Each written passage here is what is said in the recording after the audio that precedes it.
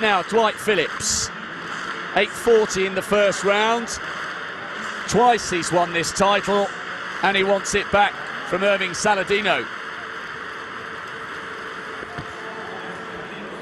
Oh, yes. That'll be an improvement.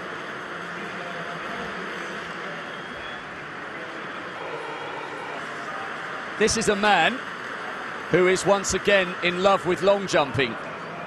Two world titles, an Olympic gold, and his motivation started to go. And missing out on a selection for Beijing last year seemed to re-appetise and re-energise him. He's sprinting faster, he's jumping further, 8.54, he extends his lead.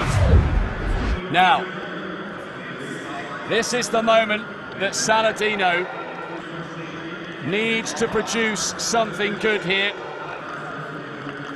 He's in danger of going out with a whimper on a championship final that has promised so much from the Olympic champion.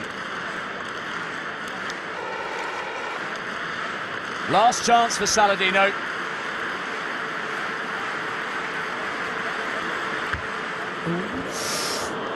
Not sure he was legal there. Did he get a red flag? Red flag, red flag. Well, the Panamanian, who won in Osaka and Beijing last year, relinquishes his title.